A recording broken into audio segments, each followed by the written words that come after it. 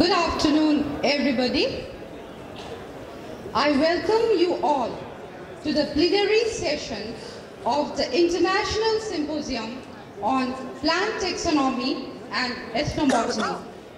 First of all, I would like to request the chair, Dr. R. Prakash Kumar, Director, TBGRI Kerala, co-chair, Mr. S.N. Tyagi, PCCF, retired, Gujarat State Forest Department, rapporteurs, Dr. K. Karthigeyan and Dr. Dinesh Agarwala to take the charge and conduct the session. Thank you.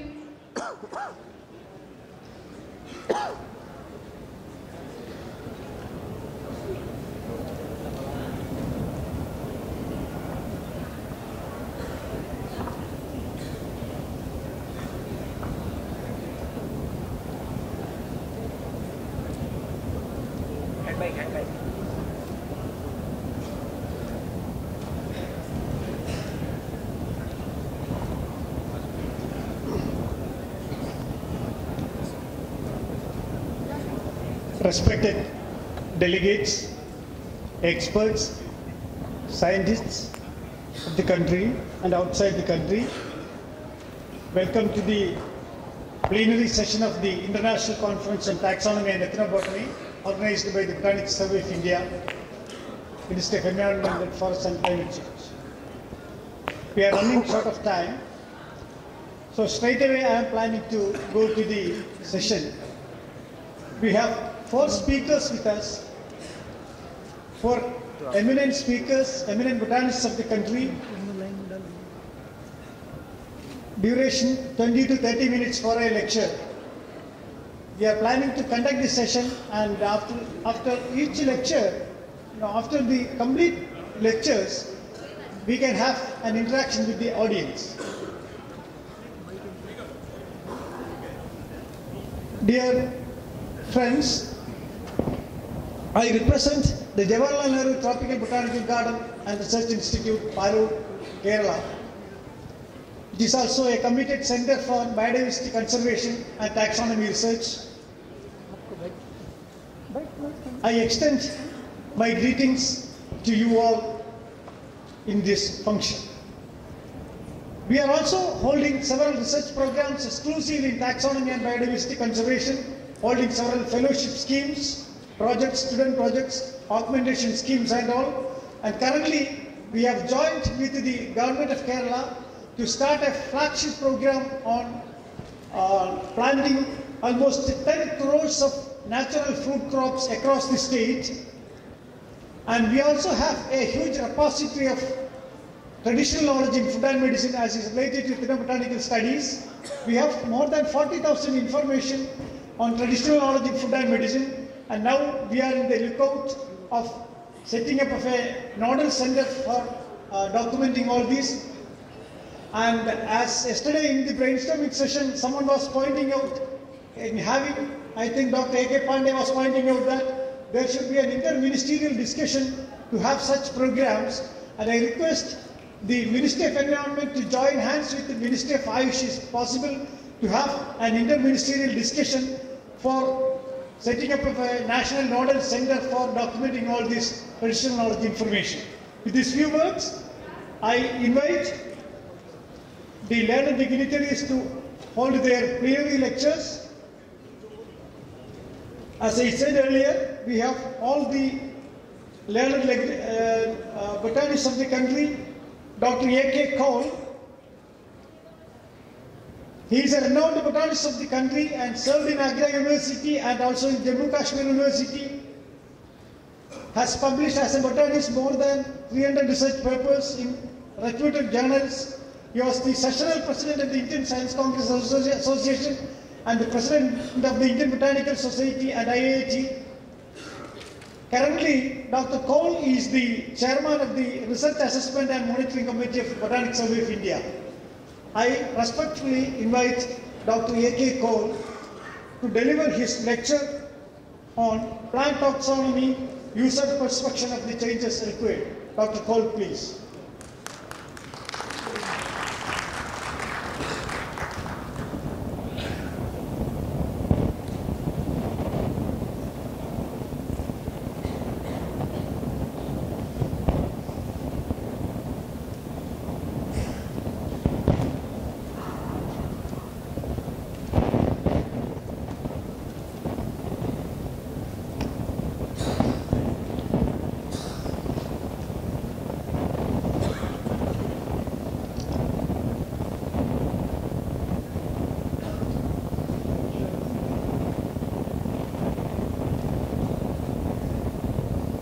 fellow delegates, I feel happy and privileged to be amongst the galaxy of taxonomists gathered here from within the country and outside. Ladies and gentlemen, you are all experts in taxonomy, the oldest branch of biology,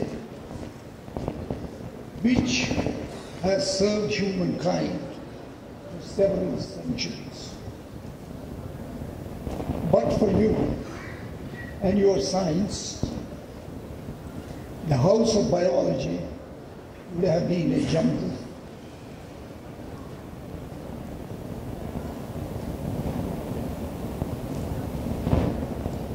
It's not providential, nor is it coincidental that this conference is being held at the beginning of the new decade. Obviously, the organizers had it in mind that it would help them draw the roadmap for the new decade.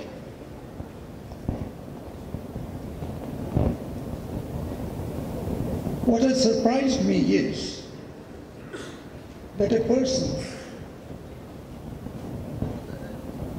who cannot claim to have any expertise in taxonomy, but has been a user of taxonomy all his life, and who admires and appreciates the importance of taxonomy, has been asked to deliver the keynote address.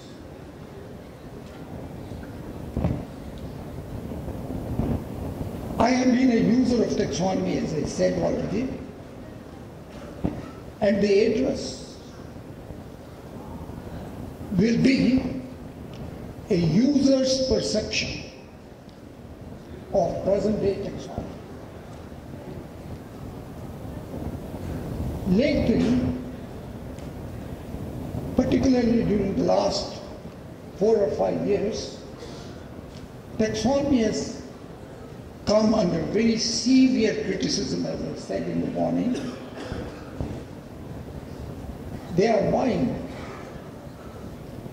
that taxonomy, a discipline that is devoted to imposing order in the living world, is itself vague and remarkably arbitrary. And therefore, how can it help in bringing order in the living world? They are gone to the extent of proposing imposition of restrictions on the freedom of taxonomists by bringing taxonomy under the purview of the International Union of Biological Sciences, which is an umbrella body for biology within the International Council of Science. The experts collected here will do well to consider the perception of some of the users of taxonomy, discuss the issues, and find which are the areas of taxonomy that irks them. The latest onslaught on taxonomy has been waged by two Australian taxonomists, Stephen Garnett of Charles Darwin University and Les Christidis of Southern Cross and the paper that they have published is in Nature, June issue of Nature 1997. They say that vagueness in taxonomy stems from lack of one definition of species, arbitrary delineation of species, frequent lumping and splitting of species, frequent name changes, and more than that, taxonomic vandalism, which involves self-published and non-peer-reviewed works, which cause disruption to the foundations of taxonomy. And then they charge the scientific community and peers of taxonomy for having failed in taxonomy. The critics charge taxonomy for being used to living in the world of infirmities. They say that infirmities in taxonomy are there right from the time of Charles Darwin. Charles Darwin, in his classic book on the origin of species, wrote, and I quote, no one definition of species has satisfied all naturalists. Yet, every naturalist vaguely knows what he means when he speaks of a species. And this state of affairs continues till this day. Little has changed since then, and this outlook continues.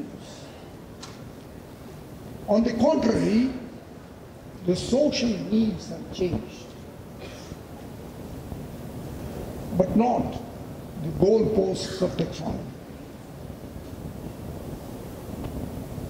The plant names and true identification of species of plants and animals was never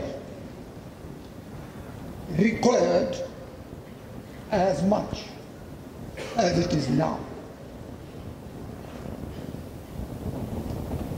Today, the assumption that species are static and fixed underlies so many things, like every international agreement on biodiversity conservation is based on the static status of a species.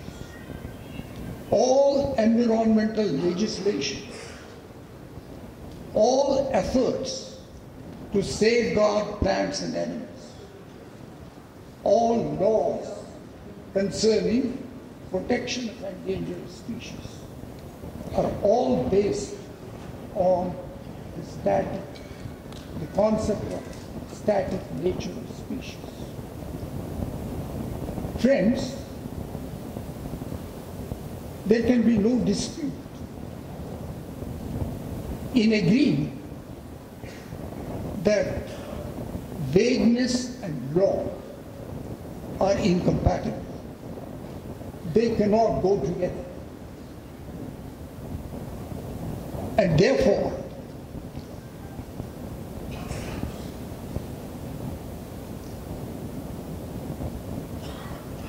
we need take cognizance of what the critics say. Taxonomists are unmindful of the changes they frequently make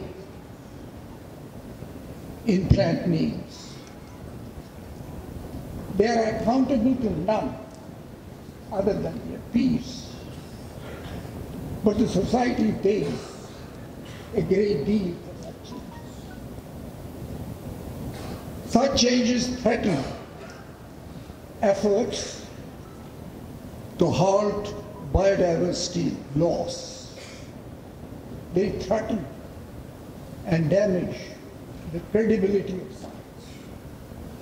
And they prove expensive to the society.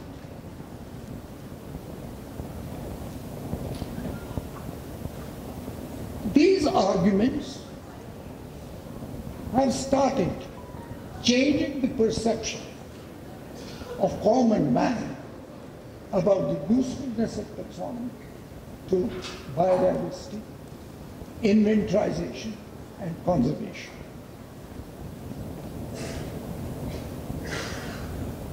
Taxonomists fiercely reject the proposal of bureaucratization of taxonomy for good reason. Since June 2017, at least six papers have appeared in Nature and many more in journals devoted to taxonomy, rejecting the charge that, or the, the rejecting the proposal that the freedom of taxonomists must be curbed by bringing taxonomy under the purview of the International Union for uh, Biological Sciences. Well, this is something that we should do. A recent paper appeared, not so recent, paper appeared in 1998 in PLOS Biology, which has been authored by as many as 172 taxonomists from across the world.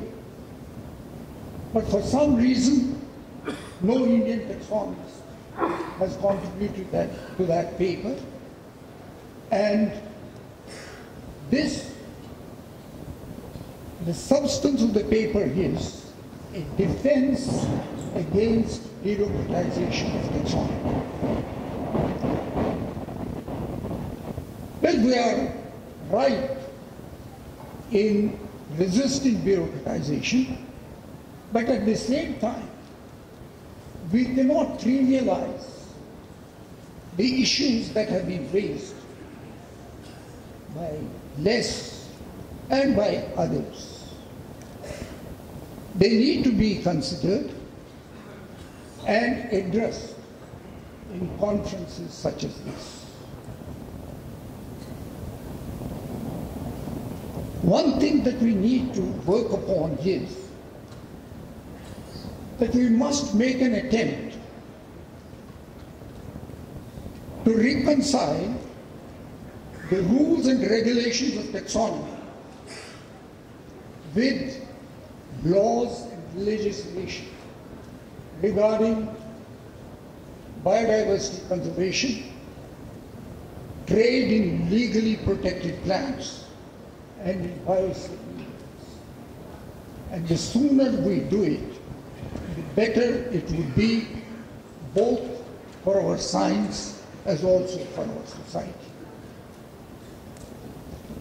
The science of taxonomy is also being charged for being slow. And for which reason? They say in, it cannot help in protection of biodiversity. The rate of inventorization of biological diversity is claimed to be much slower than the rate of species loss. And this assumes greater significance in view of E.W. Wilson's often quoted biodiversity forecast, in which he says half of all plant and animal species will reach extinction by the year 2100. As true guardians of biodiversity, it is obligatory for our community to fulfill the twin tasks of inventarization and conservation of biodiversity. Traditional methodology that is used in taxonomy cannot help in achieving the goal of inventarization. It is estimated that the number of species, number of years that will be required to identify the hitherto unidentified eukaryote species will be somewhere around 1,000 years. And in strong, strong contrast, the number of years that will be required to identify them using DNA barcoding will be about 20 years. So why is it that we do not make attempts to standardize the barcoding technique? Barcoding has, DNA barcoding has many other advantages, as most of you would know. But for the benefit of the younger members of the audience, I would like to say that it is cost effective. And it has been estimated that you require to spend just $3 to barcode a specimen. The sample size required is very small and species can be identified at any stage of their life cycle, seed, seedling, adult plant, in the reproductive or in the vegetative phase and so on. In dioecious species, we can identify species from either of the two genders. It can help in detection of, in, in, in uh, identification of cryptic intraspecific variability. And it can help in identification of hundreds of years old herbarium specimens and music, herbarium sheets and museum specimens. But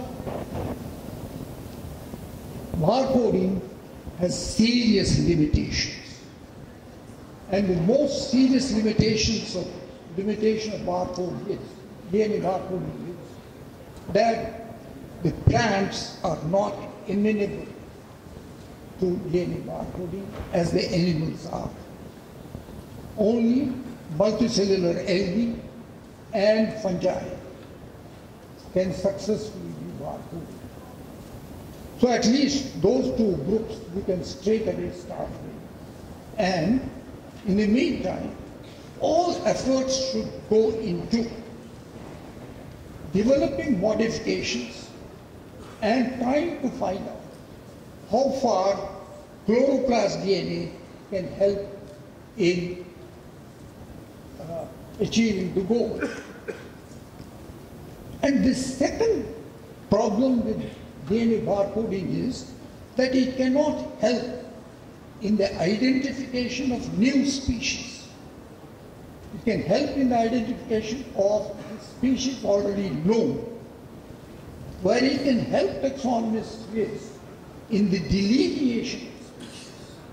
Just as we use GPS, Global Positioning System, in placing ourselves geographically the same way we can use DNA barcoding for placing the variants in natural populations. And once the variant has been identified, it can then be described by normal methodology of taxonomy. Luckily, the barrier between traditional taxonomists and the barcoding scientists has given way. And now they accept DNA barcoding and they realize that their fears that with the establishment of DNA barcoding, the traditional taxonomy would lose.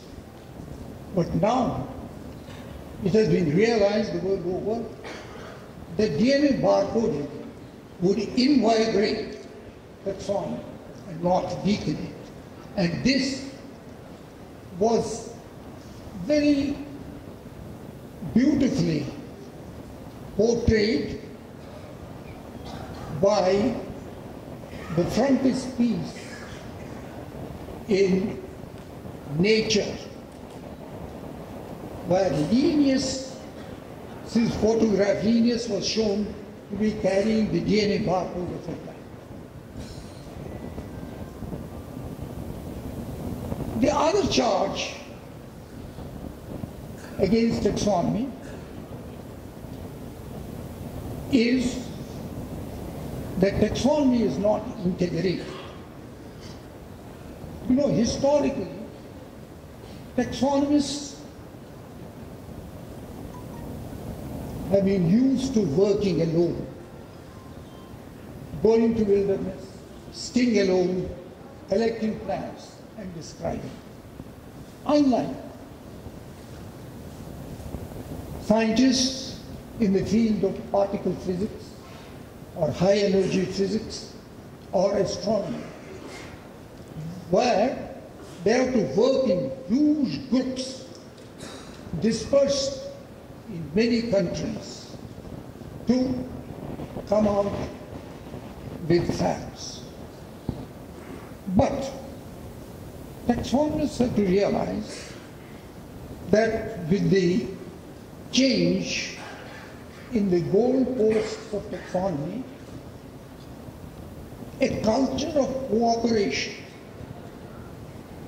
and not culture of conflict and confrontation is likely to pay the dividends.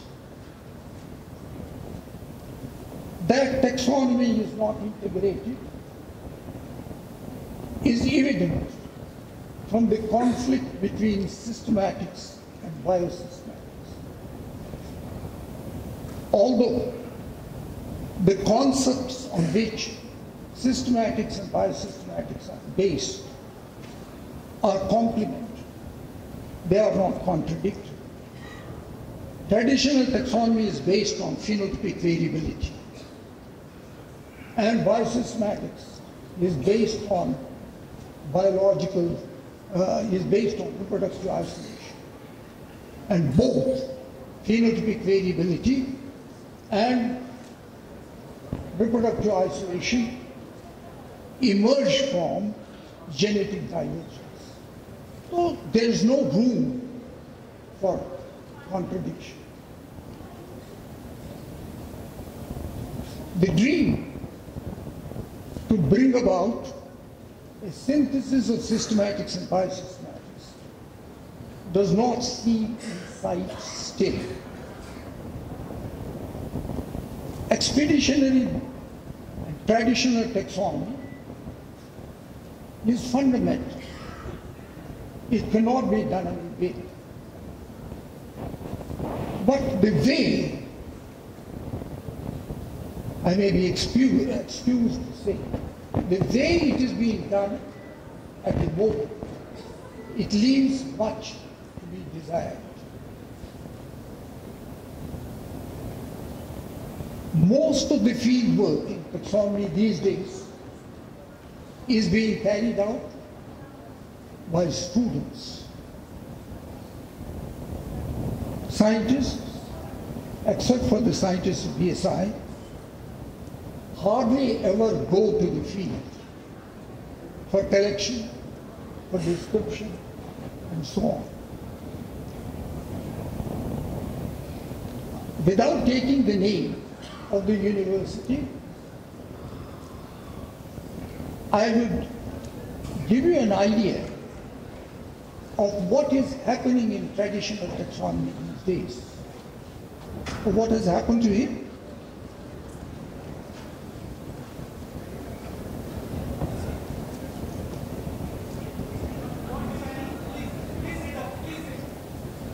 That is what I did. Don't, don't stand around him. Don't stand around him. इसको रिससकेट कर दीजिए थोड़ा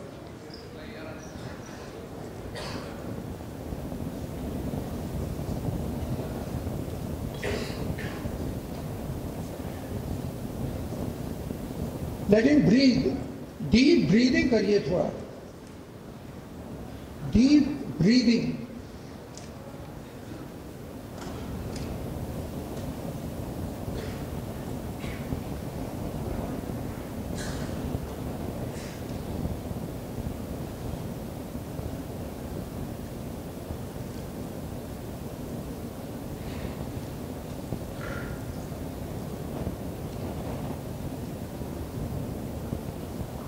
Can you help him?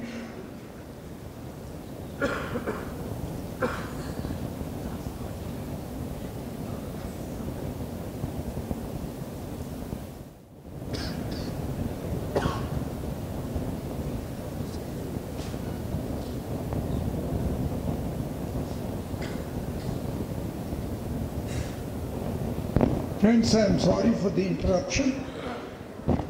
Let us all pray for good health of our young friend. I was uh, trying to tell you that traditional taxonomy calls for changes. I was referring to an example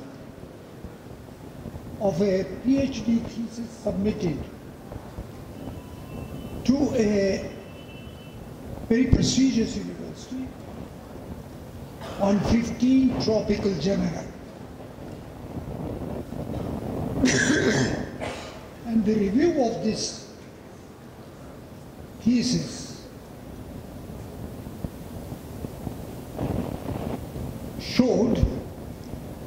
that nearly one third of the species described were from a single herbarium sheet. And the rest of them have been described by less than three, from less than three sheets. This may be an extreme case, but this situation prevails. Need to consider isn't it time that we now try to collect, study, and describe species from their entire geographical range? Such work will call for long-term systematic research. LTSR, long-term systematic research. Along the same lines as we have LTER, long-term ecological research. The ecologists already have it. The systematists, the taxonomists need to fight to have this. This perhaps, if it becomes a reality ever, it is likely to change the face of taxonomy. Friends, I would like to conclude by stating that there is no denial that no branch of biology is as intimately connected and relevant to biodiversity as is taxonomy. And this has been projected by a number of biologists of all shades. But I feel personally impressed by what Robert May said towards the end of the last century. And I quote, without taxonomy, to give shape to bricks and systematics to tell us how the bricks have to be laid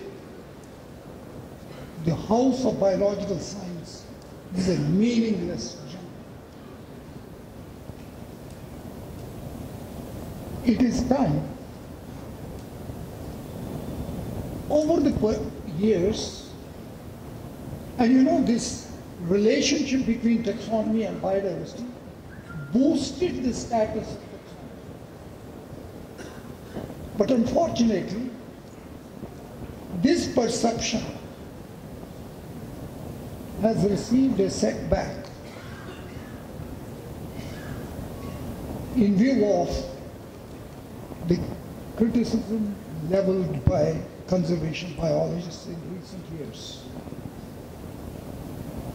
They say that, bio- that taxonomy is not an aid, but an impediment in the inventorization and conservation of biodiversity.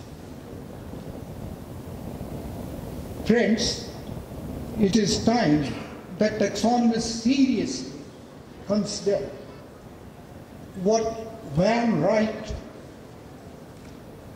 said again towards the end of last century, 1996 to be precise. He said that taxonomy does not have to be merely self-seeking, not merely more of same time-worn net mutton dressed as lamb, old wine in new bottles, but it has to be oriented outward towards society at large to fulfill our responsibilities as the guardians of bioresources and biodiversity. Thank you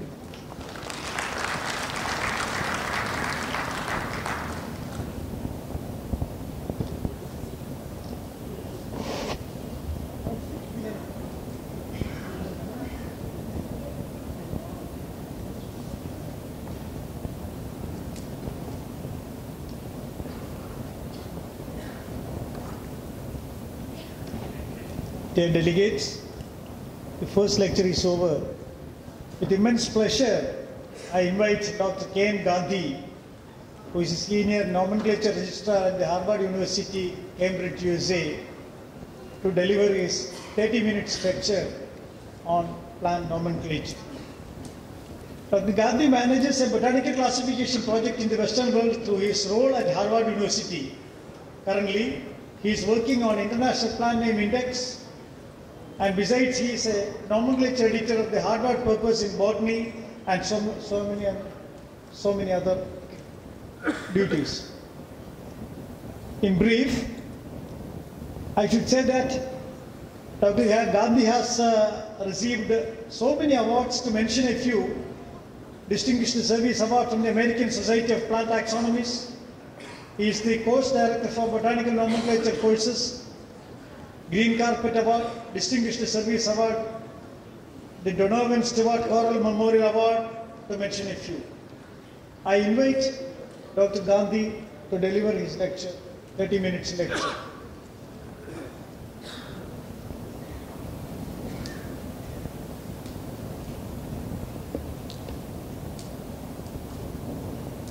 Now, my young and senior friends, I am here today to share a little bit of knowledge that I have acquired in the last 50 years. Since 1970, I have been doing taxonomic research and teaching, and in doing so, I have acquired knowledge in my personal experience and by interaction with eminent scholars. I'm not doing any, anything what we call rocket science, but in the course of doing what I do, given very fundamental things, very fundamental things, I came across that that were never explained to me when I was a student, or I didn't explain when I was a teacher. And whatever I learned, I share it to share with the rest of the botanical community, not only in USA, but with a few selective European botanists and with more than 400 people in India, so that in turn they can share the same knowledge with the rest of the botanical community. Prior to coming here, I have spent about three and a half weeks visiting several parts of India, like Shillong, Assam, Kerala, Bangalore, and Calcutta again. And because of prayer family commitment, I need to depart to USA today only. Because of the tremendous effort, sorry, tremendous respect I have for BSI, I chose to remain to attend this morning's function. And this afternoon, after the lunch, I'll be leaving. I'm sorry to leave, but as I said, I need to leave to attend a family event in USA. Now,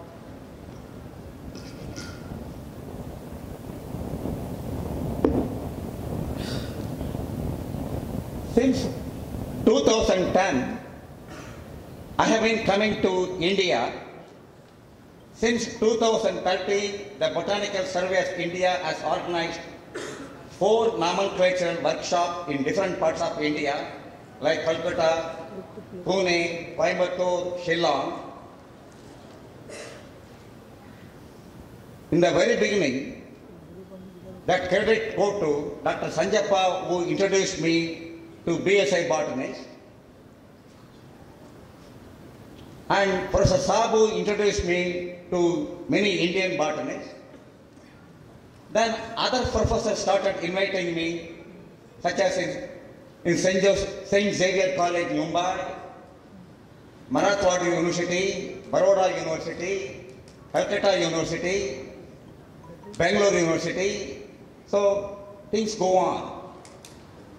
What am I doing here? I am just sharing. I'm, I feel so happy to share my knowledge. And to share that knowledge, I need a venue, and these are the people who make that arrangement. And it requires a lot of effort from these organizers. Like if you are getting married, the groom has to just go and sit in the wedding hall, but their parents and other friends, they have to take so much effort to arrange that wedding.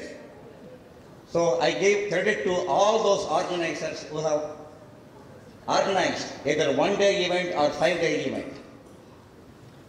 So to give a sampling, I have been serving as a flora of North American flora as a nomenclature editor and to some extent I have been contributing to Flora of India as far the nomenclature is concerned.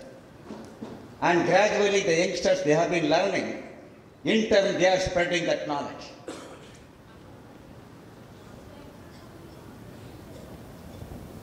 We have been talking about Flora of India. I just mentioned a little information about Flora of North America. John Torrey, the New York Botanical chief botanist, and Asa Gray, who became the Harvard professor, often called the father of American botany. Together they started this project, Flora of North America, published two volumes during 1838 and 1842. For some inexplicable reason, the flora did not get completed.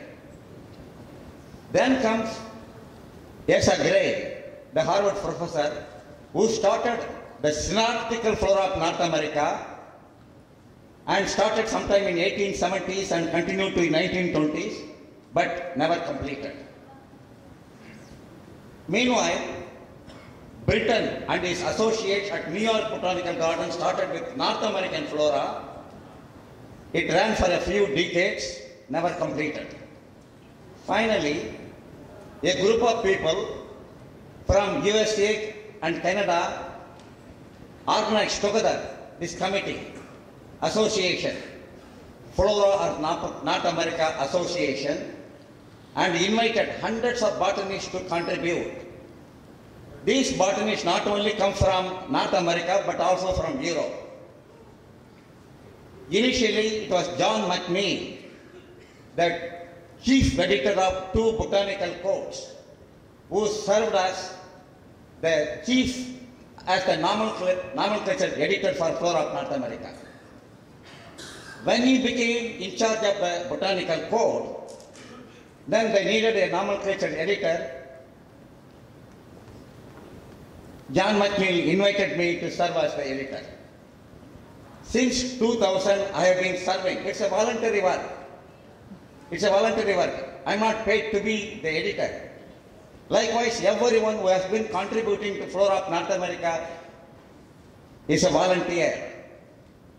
So all that, they are all working somewhere, either as a paid employee in the university or a retired, but still, whatever knowledge they have acquired, they are sharing. I am paid to do some work at Harvard. Whatever they pay is enough to me, and I share my knowledge with the botanical, with the flora of North America. I was very happy.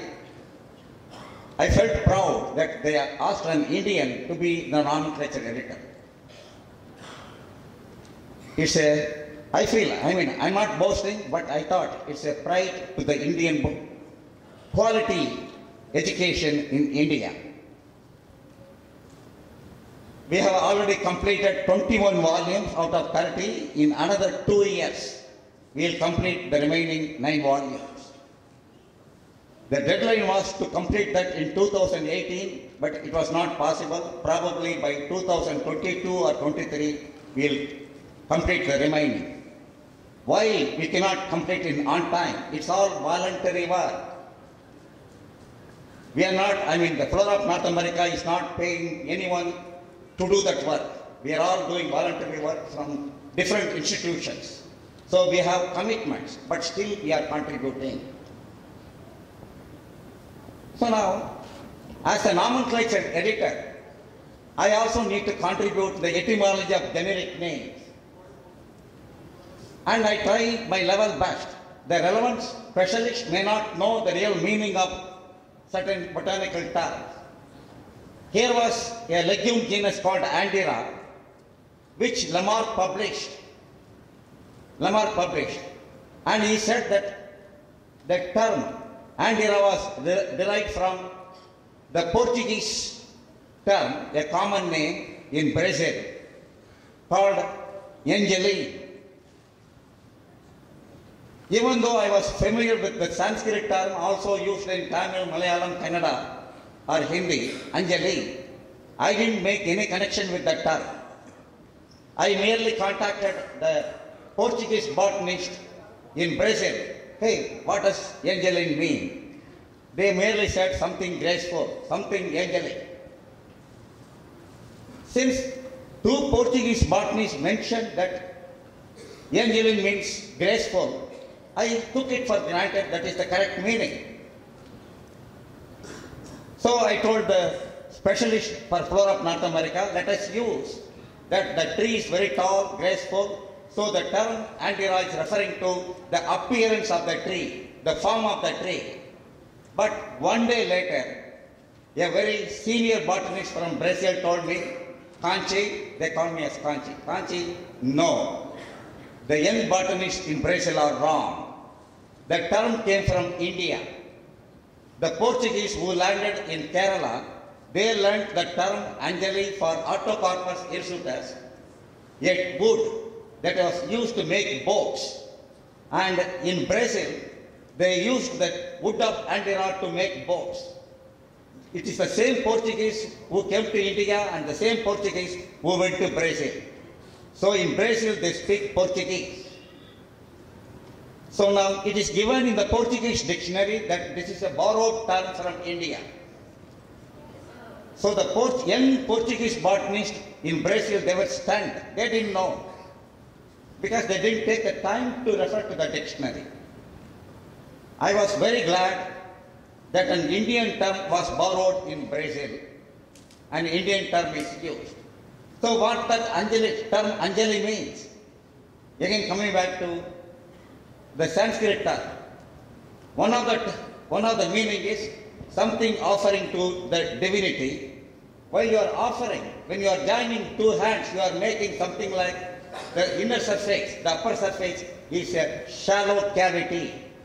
If you refer to any dictionary, Sanskrit dictionary, one of the meanings of Anjali is cavity.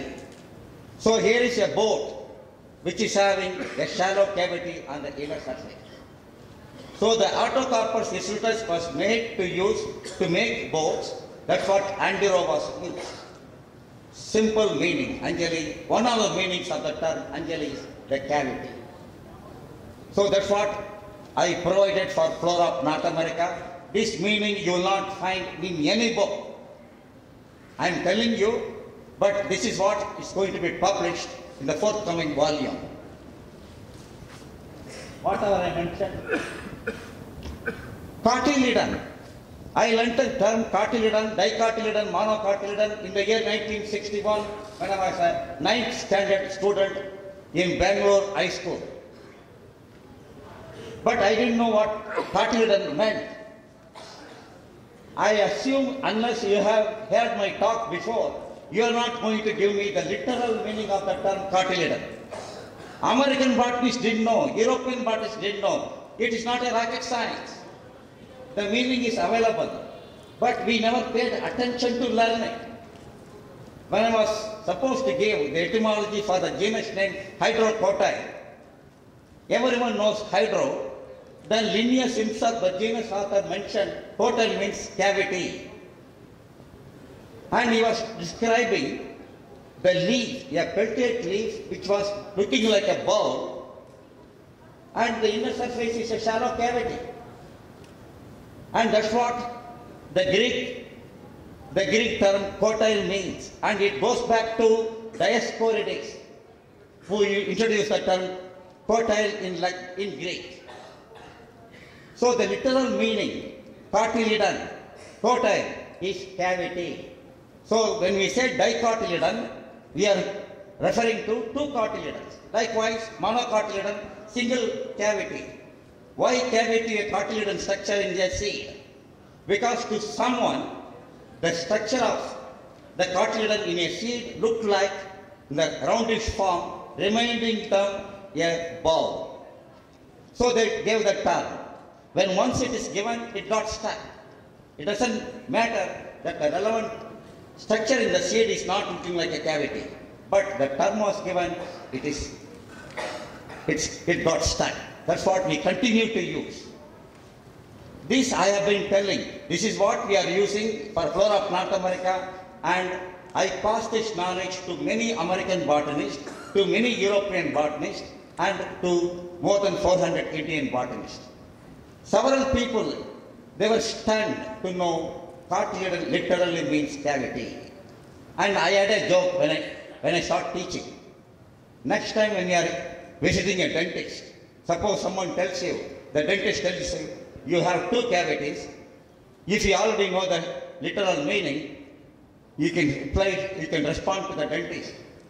You mean that I have two cotyledons? The dentist may say, no, you are confused. I am telling that you have two cavities. You may insist, that's what I mean. I have two cotyledons. This is a joke that I use in my teaching. Whatever I explained, Datura, when it was introduced to India, is quite a puzzle. Whether it got introduced only in the last 500 years when the Europeans arrived to India, or whether it got introduced much before that, because whatever we know as Datura is associated with Lord Nataraja in his dancing force. Whether that flower is Datura itself or something else, this remains as a puzzle. But my concern here is the etymology of Datura. It's a Linnaean genus name, and Linnaeus was very partial to Greek and Latin languages. And he was very reluctant to use the Indian terms or any other term. But he did use as long there is something, a close term in Latin. You know the Sanskrit term datura, something causing hallucination, something causing illusion. And since there is a Latin term called dater, giver, and in Linnean time it was believed that the seeds of datura could enhance one's sexual potency. Giver. For that reason, Linnaeus accepted datura but modified as datura derived from the Latin term dater. The reason I am mentioning is this. For flora of North America, I have to derive, I have to give the etymology. Sophora, a legume. It also occurs in India. You will not find the meaning what I am going to tell you unless you have heard from me before. Linnaeus in 1751 in his Philosophia Botanica merely said, an Asiatic term. When you say Asiatic term, Asia is a very big continent from where? He was reluctant to say it was from Arabia. Nevertheless, what does the term Sufira means in Arabic? He didn't say anything except mentioning it is an Asiatic term. I always let, look for, I checked several ancient classical literature to look for etymologies. Then I checked, it is Hortus Cliffordianus, published in 1737. There, the second paragraph gives the Latin version, the bottom version gives the translation. In Sophora, he was calling the ten, ten stamens as wise man. I was totally confused. Why is he calling the ten stamens in the flower as wise man? I couldn't make out. Then I consulted a Latin teacher. Even though we know the what the Latin text given by Linnaeus mean, I simply could not understand what, why he was calling the ten stamens as wise man. Then a Latin teacher explained to me, no, here the wise man was used as a teasing term, as a critical term. The word English pun, P-U-N pun, meaning not real. The moment the Latin teacher mentioned that Linnaeus was, Linnaeus was not appreciating but was critical, I understood the meaning. In Sophora, the corolla is papilionaceous, whereas the ten stamens are free, like just like in Caesalpinioideae. So here is a situation, it is intermediate between Papilionoideae and Caesalpinioideae. So Linnaeus was worried where to put that genus. So that's why he was very critical where to place, and he used the term Sophorum, wise man. But in reality, he was critical of the terminal arrangement. And again, when I give talks, I ask people, what is the nature of stamens in Papilionoideae? Yes, Many people readily say, monadelphous or diadelphous. So far good. Then I ask them, what is the literal meaning of adelphous? So far not even one person told me the literal meaning of adelphous. They are able to describe, but not the real meaning until, unless I tell them. Literal meaning of adelphous is brothers, not man. Nothing about group. Literal meaning is brothers. Man adelphous, brothers in one group. What I'm telling is, you know what it means, but you do not pay attention to know the real, literal, original meaning. Whatever I mentioned is elaborated. This is not applicable to Indian flora. Matilia, an apocynaceous genus, the reason I am showing this to you is, I always go an extra mile, extra kilometer to understand certain things. Matelea was a genus published in 1775 by a French botanist, Aublet, from a country called French Guiana. In his book, Flora of French Guiana, he has described hundred, a few hundred genera. For many of them, it did not give the etymology. So no one knew what Matila means, Matelea means. I contacted several people. They told me, Kanchi, you are not the first person trying to know the meaning. before you for the last 150 years, many people, uh, they were just puzzled. But beyond that, except telling it's an unknown meaning, derivation unknown, we couldn't proceed anywhere. But I continued to check. Then two botanists came up with this information. There is another similar term called amatalia in French Guyanese language for the genus Cissus which grows along the river, a riparian genus. The moment I came to know that, immediately I realized maybe Matelea is an anagram of Amatalia because Matelea also grows along the river banks. It's only a speculation. At least there is some, some logic in interpreting that meaning. So what I'm telling is, I didn't give up. I went an extra, we say in American expression, mile, extra mile to learn something.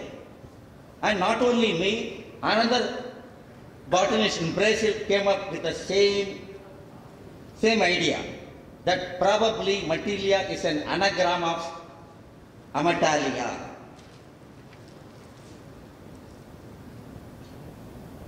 This is just for a teaching. As I'm, as I'm giving talks, I teach people. I said, 150 years ago, even a bullock cart or a horse carri- carriage can be called bus. Any vehicle that was transporting public was called omnibus or omnibus, a vehicle for everyone. So I tell people, so along with botanical knowledge, I also, I also share some general knowledge. How many of you even know, whatever you call as bus, the full name is omnibus. That's the full term, but shortened to bus. And 150 years ago, a bullock cart that was available for renting could have been called as omnibus. And here is a US issued stamp, US government issued stamp showing a horse car- carriage as bus, omnibus.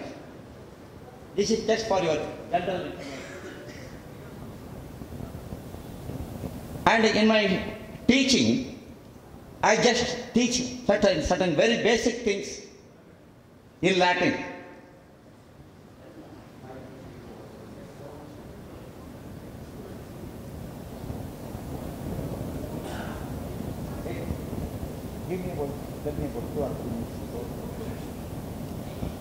So now, there is so much information, I can go on for the whole day. But since of, of the time limitation and I have to catch a flight, so I will restrict myself to whatever I can talk in this remaining time.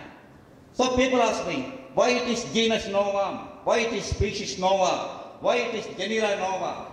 The same term nova can be plural and neuter, and the same term nova can be singular and feminine. So these are the things that I explain in my normal nomenclature teaching. So now, this is a lot, but again, I tell people, in order to learn something about names, please learn something about what is a nominative case, what is a genitive case. So in every nomenclature class, I train people how to coin name, how to coin a family name, how to coin a compound term. And I tell people this is not a rocket science. The moment you learn the very basic, yes, in every class wherever I taught, people learned the basic. It's a third declension. So now I'm in a hurry. There are five declensions in Latin, and the third declension is the largest one. And any genus name ending in is, even today, there has been dispute, controversy.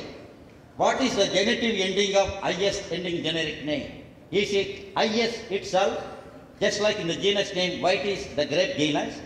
Or is it itis, as you find in hydrocharites?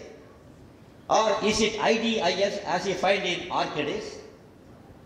So like that, there has been, in some cases it's straightforward. In some cases, scholars differ. And what we do in such cases when scholars differ? We just go with the majority.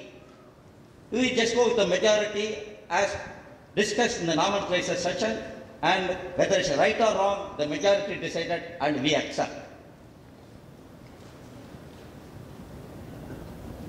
That's what I meant. meant. Like, you may be surprised to know, for the genus name cannabis, at least there were four different family names in the past. And the four, and the code finally settled with Cannabaceae. So now Cannabaceae is the correct family name as far the code is concerned. Nothing else.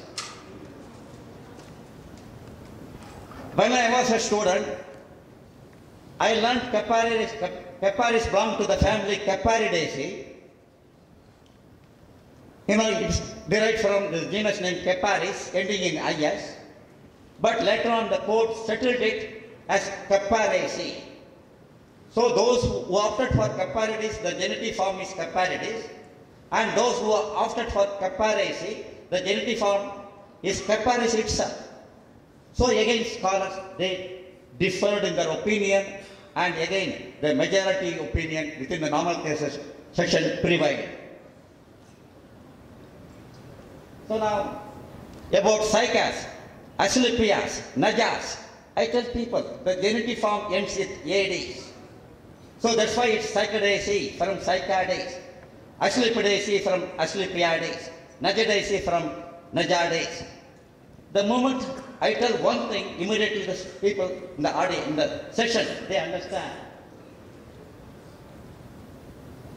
Now, if you look at flora of British India, you may find that,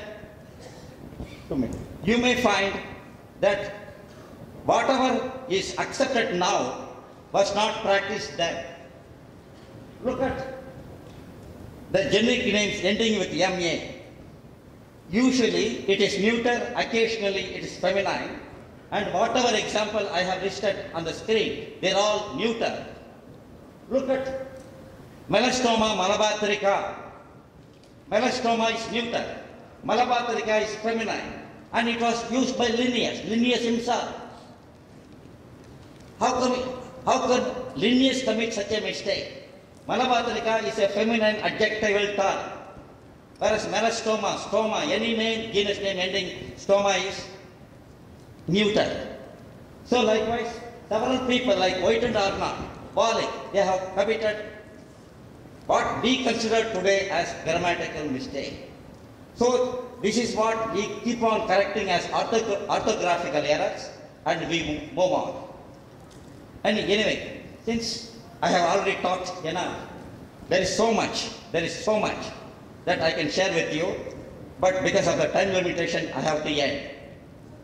But since 2013, I have been visiting India almost every year, traveling all over India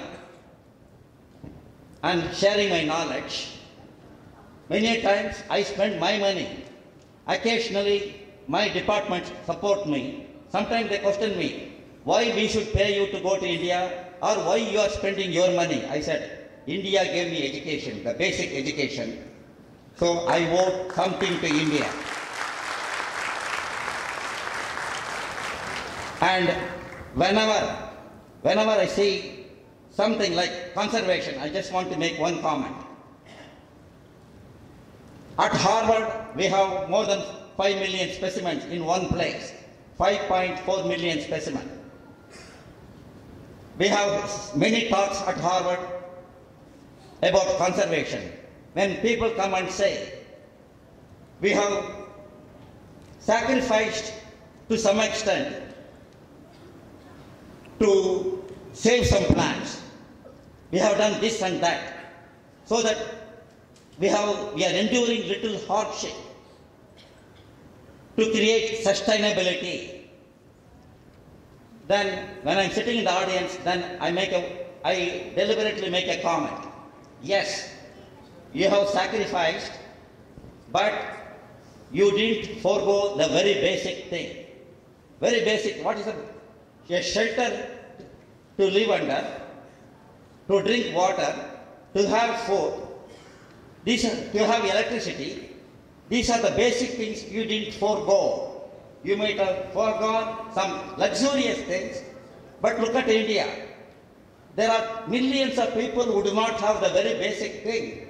How we can ask them to forego the very basic thing, then contribute to conservation? I said there is a big difference. Then they realize, yes, what they have sacrificed is little when compared to what people, poor people, go through elsewhere. So always I think about India whenever I see comparable situation at Harvard. Thank you again. Thank you.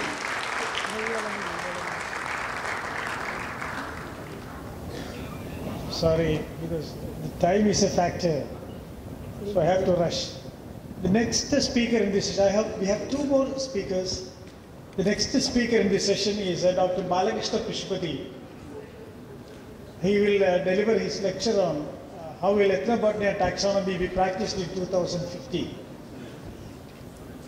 Dr. Pisupati is an internationally renowned young conservation and developmental specialist with three, with three decades of experience at national and international levels, holding senior positions. Such as Vice Chancellor of the Transdisciplinary Uni- University, uh, Chief of the Biodiversity Land, Law and Governance Programs at UNEP, Senior Policy Fellow of FNI Norway, Chairman National Biodiversity Authority Government of India, and uh, Coordinator of the Biodiplomacy Program at UNU, United Nations University, Japan, and head a regional biodiversity program for Asia at the World Conservation Union, IUCN. He has been an advisor to several international bodies such as the China Council for International Cooperation on Environment and Development, the UN Secretary General Task Force on Technology Mechanism and others. And currently he is the chairperson of the Forum for Law, Environment, Development and Governance based in India. I once again proudly invite Dr. Pisupati, who is the chairman of the Research Council of the Jawaharlal Nehru Tropical Botanical Garden, to deliver his lecture, 20 minutes lecture, on the subject how will ethnobotany and taxonomy be practiced in 2050. Dr. Pisupati, please.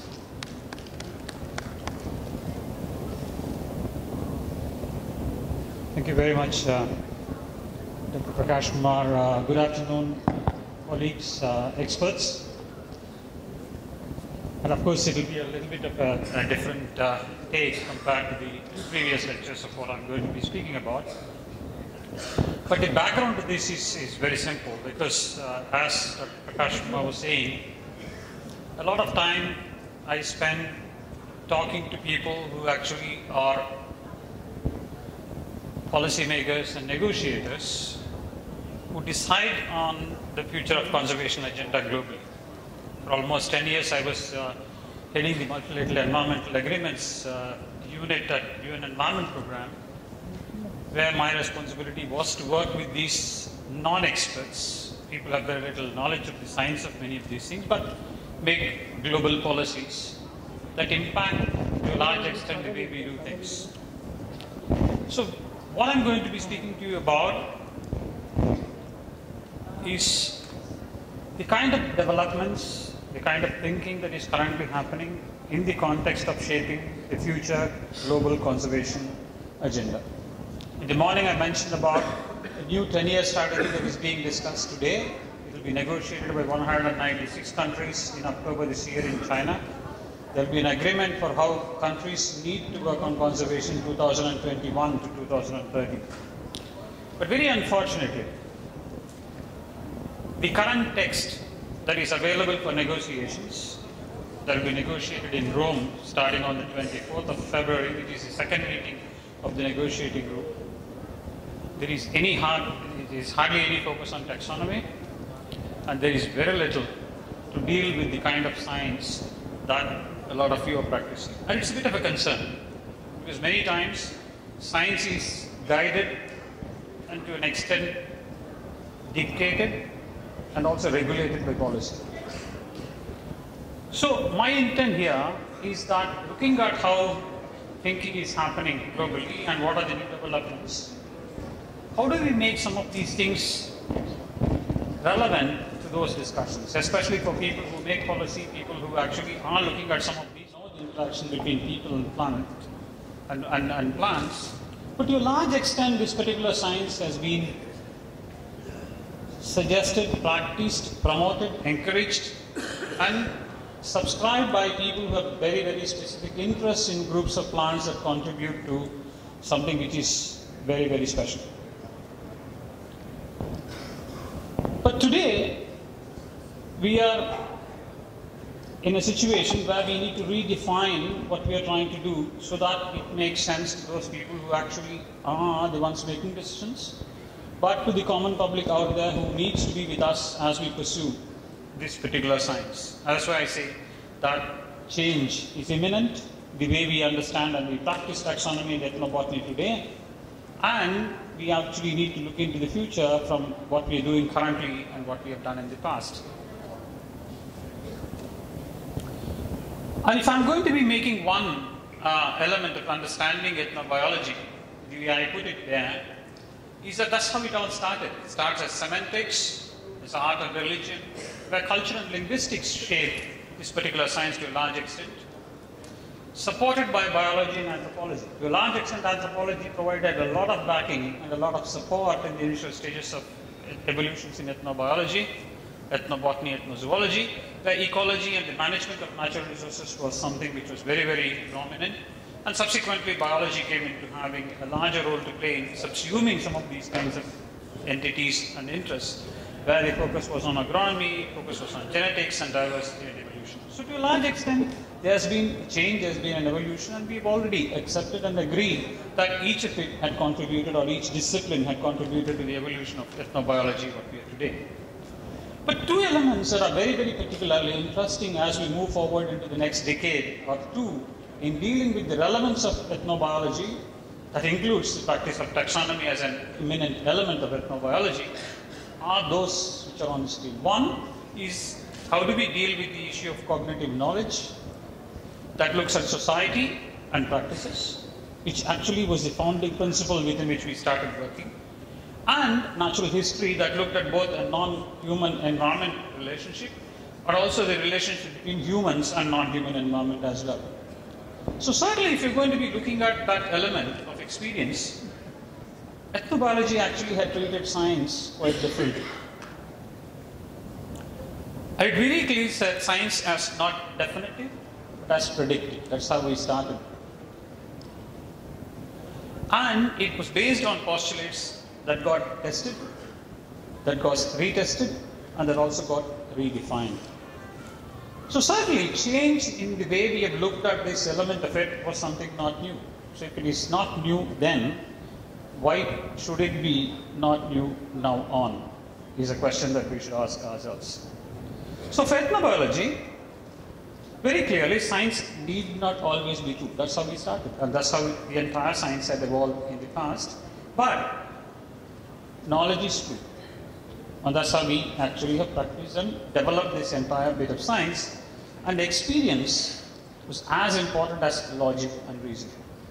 And that's a big difference between the way science is understood, practiced, and taught now to the way science was understood, practiced, and learned, experienced by people in the past, which really led to the foundations, the way communities over centuries have actually developed the way of not just identifying plants or animals, but also being a part of that particular ecosystem. Today, we have a new term, we coined a new term called ecosystem-based approach to conservation.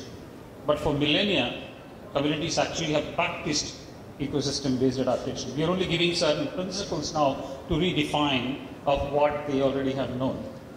So if you'll be looking at some of those considerations, one of the very fundamental, one of the very clear requirements as we go into the future of ethnobiology that includes uh, taxonomy is that we actually have started looking at it in terms of recording myths, the religious practices, the spiritual beliefs, economic activities, kinship associations. And we actually have moved along to look at it from a very strictly cognitive or a scientific knowledge of plants and animals. And that is a huge shift in the way we actually have understood or practiced ethnobiology to what we are now. And if one considers ecological anthropology as a major contributor to this particular science, what has happened is that somewhere in the past, and especially in the current situation now, the traditional culture based research had given away to effects of modernization. So today, ecological anthropology is more to deal with modernization than with traditional cultures. And that transition is also helping, and to a certain extent, also not helping the way we deal with uh, ethnobiology. And if one is going to be looking at the tracing changes in biodiversity, essentially that's where the collections come into play a role. So collections are not just as reference material, but collections also are some things that actually tell us on how a lot of these changes have happened, both ancient and also recent. And today, one is going to be looking at whether we are looking at climate change, whether we are looking at disaster management, whether we are looking at uh, conservation. To a large extent, the community-based knowledge is something which is being recognized. And that is where we actually need to relook at the way we are looking at some of those collections that includes the herbarium, not as static elements that are collected and put on shelf, but also as repositories of knowledge that has transcended over a period of time. And that kind of a change in the perception and the way we look at the cultural elements of collections to the current and the future requirements of biodiversity, whether it is related to botany or zoology, needs to be looked at. The question is, are taxonomists or is taxonomy servicing this part? And that is something which is being questioned because there was, there was a mention of the relevance of taxonomy today. It's not nobody is questioning the relevance of taxonomy. It's the difficulty to understand that taxonomists have contributed a lot of knowledge about knowing the species and species exist, but there is a huge challenge of saving those species. So should the investment be on saving those species that are known than to actually invest in knowing more and more species? So the challenge for a non-expert who doesn't know anything about biodiversity, who doesn't know anything about taxonomy, is a very fundamental question of where are the priorities, where should I put that money? And that's why if you look at the evolution of ethnobotany, one assessment could be that it started as a sub-discipline of anthropology, it became a part of ecological sciences, and today ethnobotany can only survive and be relevant and is currently being discussed in the context of both economic botany and sustainable resource management. I'll give you one example. As and when we are discussing, for example, the, the threatened species, red listing species. IUCN, for example, as you know, have been working on this for many years. And the way IUCN looked at red listing classification, the relevance of red listing to 20 years ago to what it is today has completely changed in the way actually they relate to the work of threatened species listing and categorization. Earlier it was more for conservation purpose, but today is more for development purpose. So the practice is to an extent the same, but the relevance or application of some of the results of the practice is something which is going to be changing and that needs to change. And one of the other important elements, to a large extent forgotten in the context of ethnobiology, is the role of psychology. Today, as I mentioned, a large volume of interest is being shown in the way people behave towards nature and biodiversity. It's completely a new area for work for conservationists globally. And as I said, that even the Convention on Biological Diversity will have a discussion meeting on this in terms of how conservation psychology, behavioral sciences is going to be contributing to the way we are going to be either achieving or not achieving the new set of global biodiversity targets. And the problem with ethnobiology and traditional ecological knowledge is that a significant part of it has been procedural. And analytical language is difficult to use when we are discussing many aspects of ethnobiology, which actually was a, an element of an issue. And links with psychology for using and applying procedural knowledge will be needed. And today, unless we are able to integrate elements of some of these discussions in the way we are understanding and applying elements into, into ethnobiology, definitely the future of ethnobiology is something where we basically will be questioned. And valuing ethnobiology, or ethnobotany for that matter, is looking at the cognitive behavior, is looking at the cognitive dimension of ethnobotany in itself. And that's how ethnobotany had evolved in, in, the, long, in the long run. And anybody working in conservation, the issues of cognitive science or behavioral sciences is something which is very new because we never looked at those two elements as contributing to the way we are practicing conservation, we are using, we are misusing, or we are overusing conservation, uh, bio, biodiversity or natural resources. Today, cognitive science is something which is shaping the way governments and individual institutions are trying to develop policies on conservation and development. And that's why the Convention on Biological Diversity, as I said before, is focusing on this element of behavioral sciences in the biodiversity agenda. There was a mention of the UNCCD, the UN uh, Convention to Combat Desertification COP, the Conference of Parties that India hosted a few months ago uh, uh, in Delhi.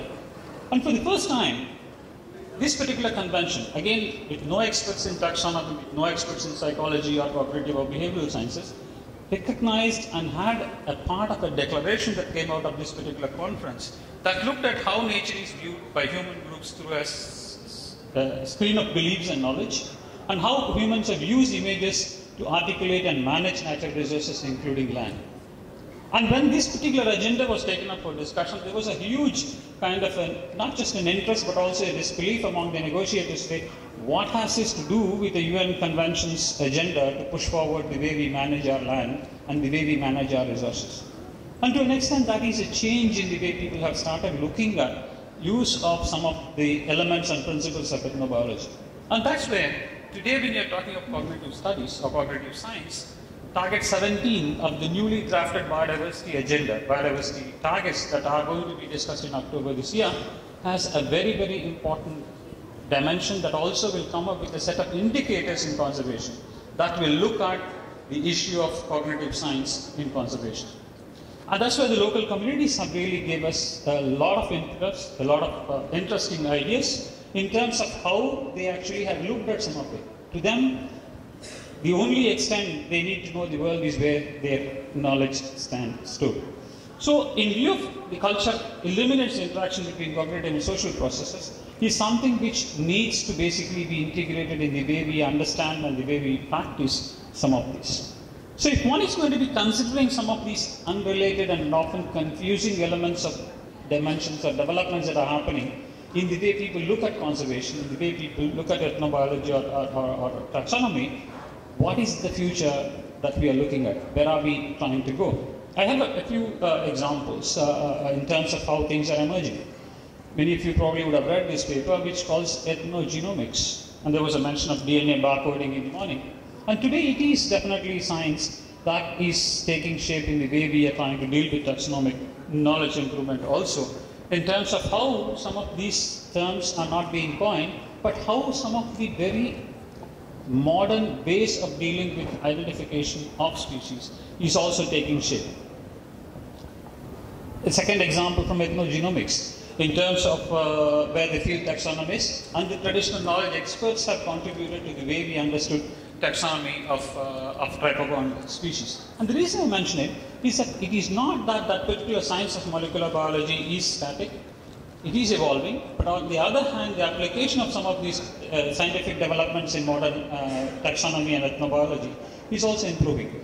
Many of you are aware of the UN declaration that 2021 to 2030 is called the International Decade on Ecosystem Restoration. And today, one is going to ask the question on restore to what?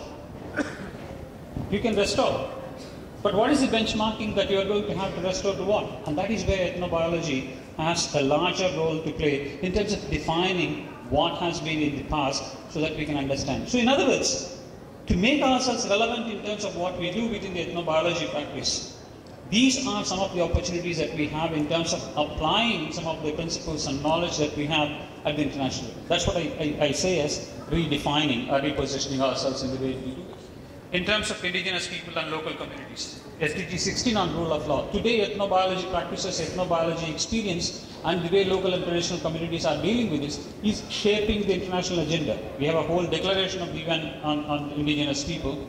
And where does all that come from? It actually came from our collective experience of dealing with ethnobiology. But how many of us understand the contribution of traditional knowledge to rule of law? How many of us understand the current ongoing discussions on human rights and environment in the context of ethnobiology? Do we have to teach them? Of course, we have to teach the students because this is going to be the future in which some of these things are going to be uh, looked at. Billion dollar industry, fashion technology. My daughter studies fashion technology, and today she is doing a project exactly on the role of ethnobiology in emerging fashion. And today there is a new concept called slow fashion.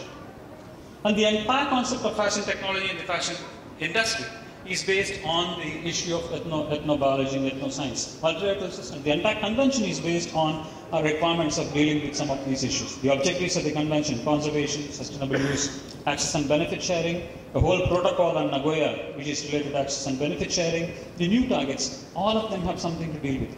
So if you're going to be looking at the new dimensions and where we are going to be positioning ourselves in 2030 or 2050, those are some of the issues which are directly relevant to ethnobotany and ethnobiology. It's about cognitive behavior that looks at the social dimensions of it. It's about ethics, equity, and human rights that looks at both the issue of social and environmental dimensions, and also nature-based solutions. The entire talk that is going to happen, the Conference of Parties on Climate Change this year, is going to focus on nature-based solutions. And the nature-based solution examples, the experiences, where are they going to come from?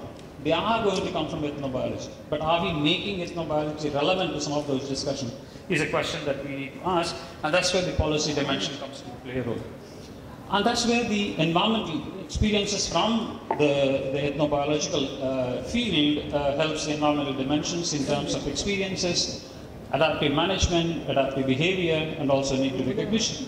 And in terms of the social dimensions, that is looking at commons, that is looking at knowledge management and dealing with change. Today, everybody talks about sustainable development goals, sustainable development goal number 15 and 14, but to what extent have we related the work that we are doing deal with some of these issues is a question we need to ask. And the entire issue of bioprospecting, the entire issue of new business and enterprise models, and also the dimensions of intellectual property rights and benefit sharing. And today in law, there is hardly any reference to some of those elements that actually have emanated from the practices of ethnobiology. And that's my last slide to say the best way to predict the future is to create it. If we are not able to be relating some of these, they look completely unrelated to a lot of us in this room because we never looked at it from that perspective. But globally, and for many countries, these are the emerging areas in which they actually want to reposition and to redefine and make taxonomy, make ethnobiology more relevant. Because at the end of the day, it's not the practice that defines the future, but it is what the society expects the practice to do that is going to be defining the future. Thank you very much.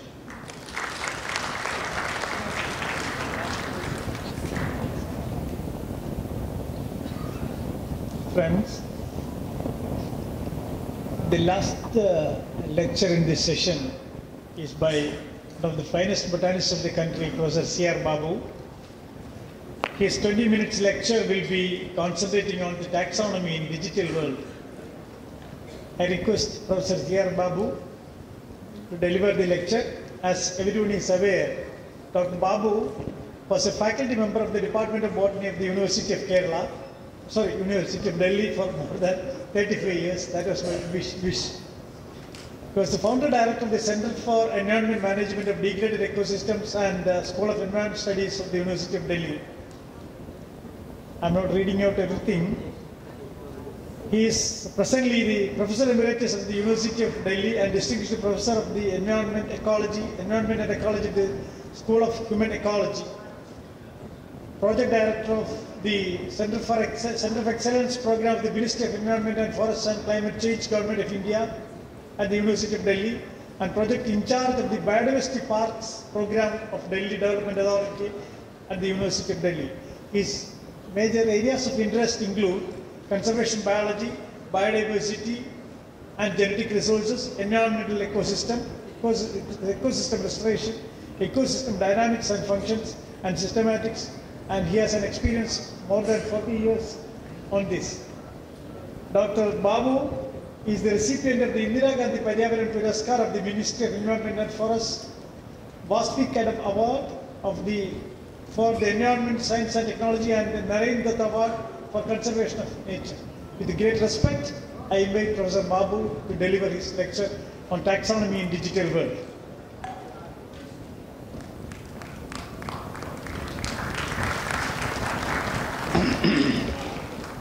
Uh, Thank you, uh, Akash Kumar, and also and our co-chair of this uh, session.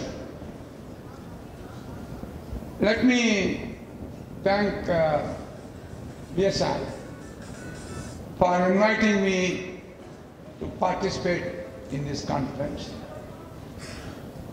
As usual, I decided to attend the conference at 11th hour.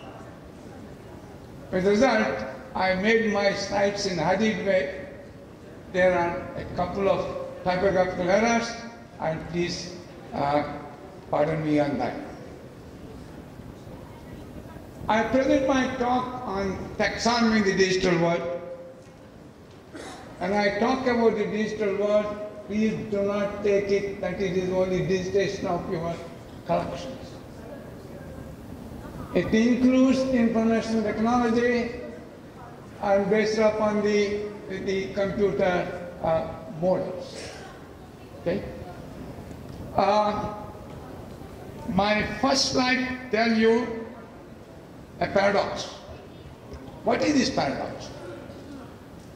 We are living in the era of mass species extinctions on one hand, and on the other hand, we are planning to colonize other planets in the universe, in the universe system, including Mars and Moon.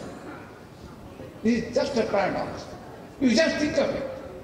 I'm not going to explain on this. Information and space technologies revolutionize our entire communication system. In today's world, digital technologies are quite powerful in generating knowledge and use that knowledge for the benefit of mankind. In such a digital world, what is the future of taxonomy? Does it survive in its present state? Or evolve into an abstract science? In my opinion, the taxonomy in its present form survives, but it will increasingly use models for generating the knowledge and use it for the benefit of mankind through practical realization of the three goals of CBD, which our Balkrishnan just now. I will not repeat it. Now the question comes is, in the first lecture by Professor Koul, he almost told you that the traditional taxonomy is threatened. A day may come, if all of you are silent like this, you may find traditional taxonomy is replaced by uh, another group another taxonomy, cladistic taxonomy, where you see only the cladograms are phylogenetic traits. So therefore, I just want to tell you how we would defend our traditional taxonomy, how we can argue and convince the entire world that traditional taxonomy is entirely different from cladistics and traditional taxonomy has a practical value. For that, I brought into a world, what we call concept proposed by world famous evolutionary biologist that is Huxley. Huxley recognized three evolutionary processes leading to the evolution of species. Find it, evolution of species. These three processes are sorry, anagenesis, cladogenesis, and what you call stasigenesis. What is meant by anagenesis? Anagenesis refers to the biological improvement of a population over the ancestral population as a result of adaptation to the changing environment. The product of anagenesis is called grade. What is cladogenesis? Cladogenesis refers to the splitting or divergence of this biologically improved population over the ancestral population. Now, this product of cladogenesis is called clade.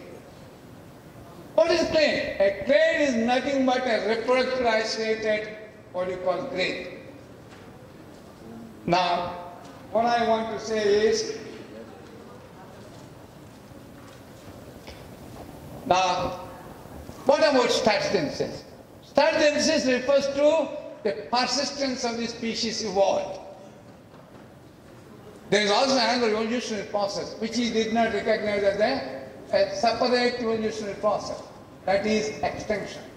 He did not recognize extinction as a separate evolutionary process because any failure to persist is the extinction.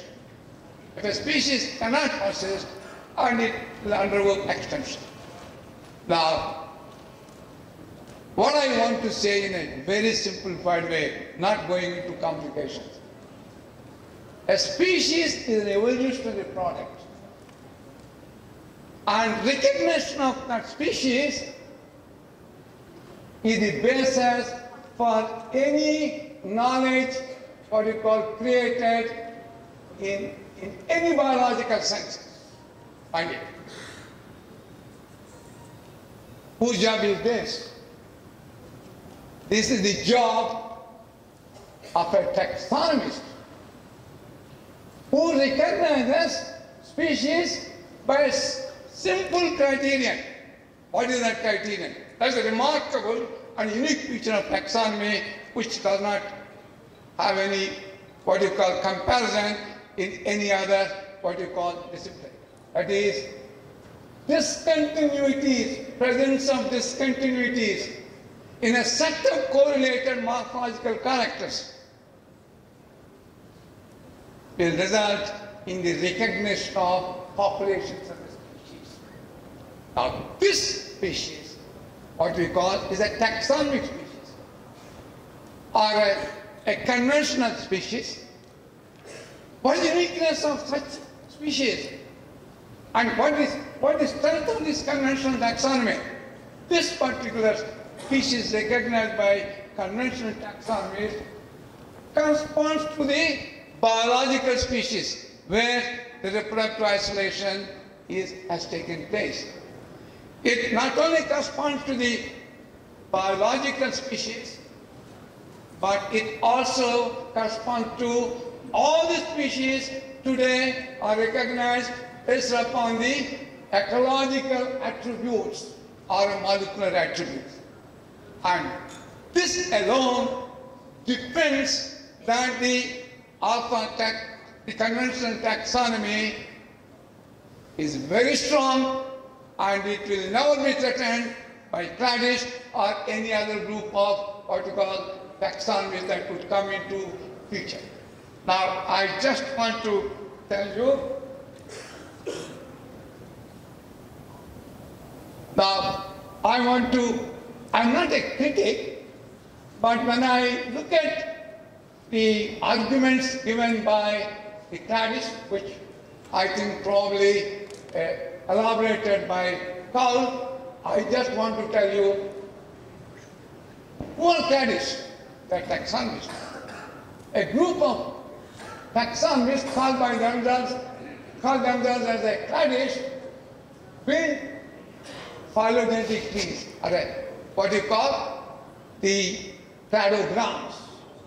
Based upon what? Based upon the phenetic characters. When I say phenetic, which includes morphology as well as physiological and biochemical, and also molecular variations. Now, based upon these phenetic trees, they classify individuals as a species. And it is a remarkable difference between a cladist and a conventional taxonomist. A conventional taxonomist recognizes population the species as a real entity in the nature. But a cladist, based upon the variations among the individuals, the individuals are classified as a species. Now, this led to what you call a massive increase in the number of species, which is often described today inflation in the species number. And this alone made many biologists that there should be a regulation on taxonomies in describing a new species, which calls off as licensed operator. I am not going that. The reason is any divergent form from a node is described as a new species. Let me tell you, you have a frog. Today, in India, we have a three times more frogs than the what the original species described.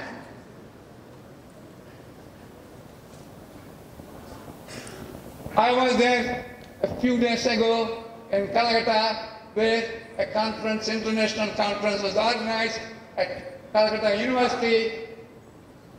One taxonomist, I won't name it, found two times higher species of cucumis. Now all these lead to inflation in the number of species and let me tell you, these species do not correspond to what exists in nature. So what is the practicality of the thing? What you call of taxonomy? The practicality of taxonomy is lost and we have simply a phylogenetic trees. In other words, if I want to identify a species in the, my field, I must carry what you call a PCR or I must carry something else so that I can take and then study it and then see whether the profile matches or not. On the other hand, in alpha taxon, in, in conventional taxonomy, I just can identify very easily looking at the characteristic features, morphological features. It's very easy, and then I use it my purpose, and then I can utilize that identification for a variety of purposes. Uh, what I want to say to you is, now based on this so-called putative phylogenetic trees, the clades have been changing the circumscription, I need circumscription, and delimitation of the taxonomy group recognized based upon the conventional taxonomy. What the next result is, how these classifications are based by cladists. I'm not against cladists, but I'm telling you the approaches they follow. The classification proposed by cladists are single character, unitary character, what you call classification. What is that? Divergence from a single node. What it means? Monophyly, nothing else. They can only classify the groups where there is a monophyly exists. And what is that monophyly? It's, a, it's, it's assumption, not a practical reality that what exists there. So therefore, what I want to say is such grouping is artificial and what you call and not natural. When your grouping is art artificial, your classification has no predictive value. Again. What is the unique feature of conventional taxonomy grouping? The unique feature is the classification proposed based upon the conventional species concept has a very high predictive value. If I bring any plant species or any, any one individual plant, I can simply assign it. Yes, it belongs to this species, it belongs to this family, it belongs to that. This cannot be done at ease with what you call your phylogenetic trees. All right. What I want to say is, we generate knowledge, but that knowledge is meant for who? For whom? And for what? That knowledge must be put to use for the benefit of mankind. How? Through what you call implementation of the three goals of CBD, that is conservation, sustainable utilization, and benefit sharing out of using the what you call sustainable utilization of resources. To do that, we need conventional taxonomy, not the ecological taxonomy. As I already told you, ecological taxonomy is based on a putative phylogeny, so-called what you call phylogeny evolutionary What I understand is that Chenopodiaceae and Amaranthaceae are merged because using a monophyletic character. But to me it appears both are quite different. Morphologically, you can distinguish very easily and still it's very easy to utilize the knowledge that is generated by using conventional taxonomy to utilize the species that are recognized in these two families for, for the benefit of mankind. The reason why I've told this is there are unique species which can be used for a variety of what you call uh, for addressing a variety of environmental problems. For example, I have one species which can change the, which can change the pH in 24 hours from 12 to 7. I did not find any other species. How? How I found out?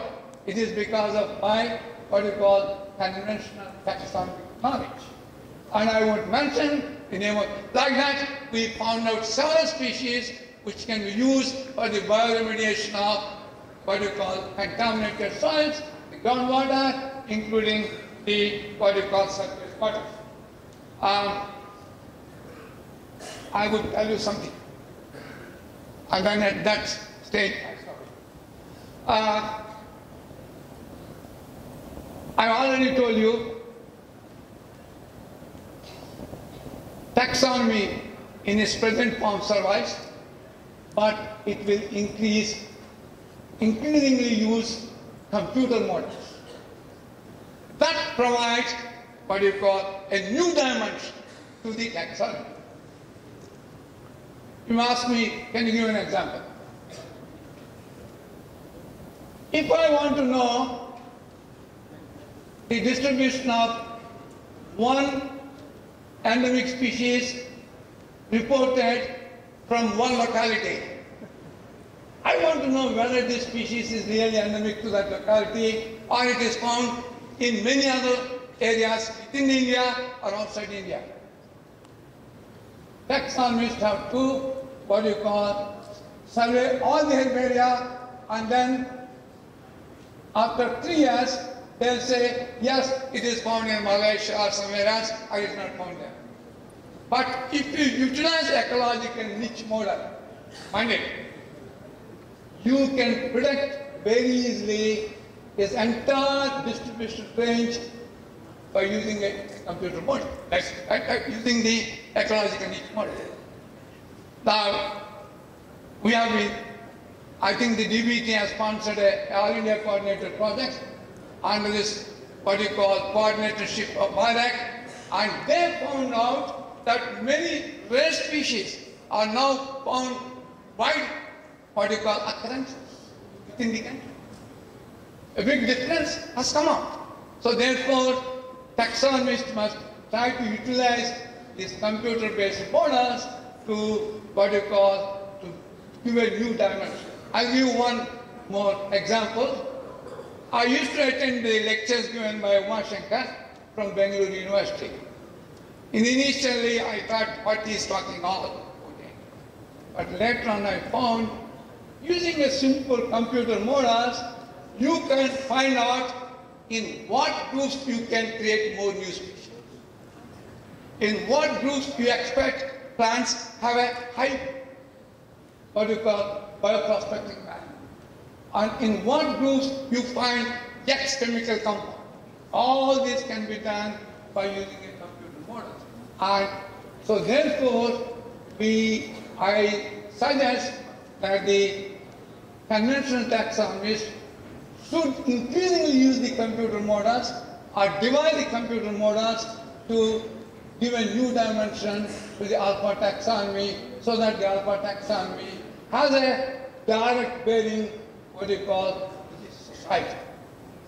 I want to summarize it. I will not go into the details. In my opinion, taxonomy is dynamic science and it remains as a dynamic science as long as human beings survive on this planet. Thank you very much.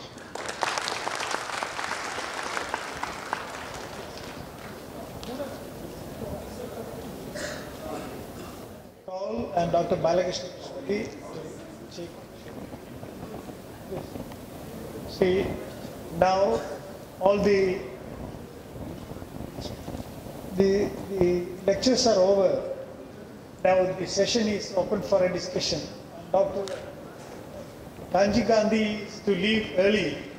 So quickly two questions to him. If anybody has two questions, you can ask him. And uh, we have to leave him early.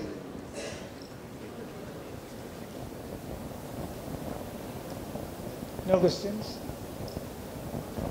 Okay. But Conquest uh, adopted the spelling Hama Mary D. Which one is correct? Please. As I mentioned in my earlier talk, the IDIS is the genitive ending. Thank you. Presentation program. May I request Professor Koul to kindly felicitate Dr. K. N. Gandhi. Thank you, sir, for accepting the token of appreciation. Can we have a huge round of applause? Thank you.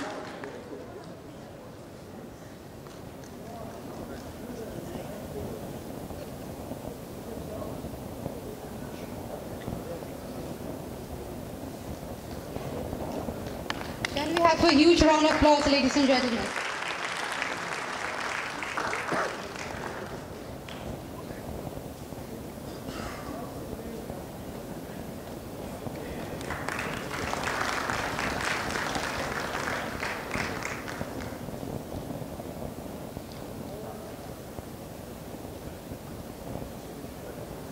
So the remaining three speakers are here.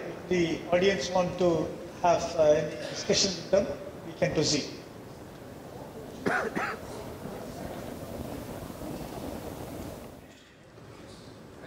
in, in case of? Uh, whereas today morning one of the uh, lead lecture uh, the esteemed professor said that uh, some of the indian publications were rejected because we are not using molecular techniques in systematic classification so i have a doubt since i am a beginner in doing research concerned with traditional knowledge and botany. I, I. Please clarify my doubt.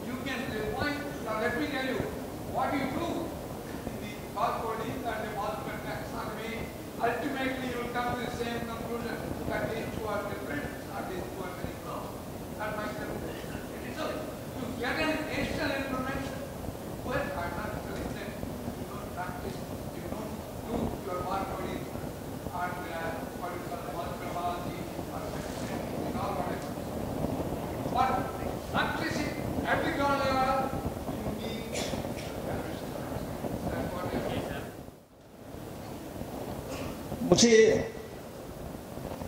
ये जो चार lectures हुए इनको संक्षेप में, संक्षिप्त करने का मुझे ज़िम्मेदारी दी गई है। बड़ा मुश्किल काम है, लेकिन मैं कोशिश कर रहा हूँ कुछ बड़े शब्दों में, संक्षेप में कि जो बातें मेरे को समझ में आई, उस तरह से मैं आपके सम्मुख रख रहा हूँ।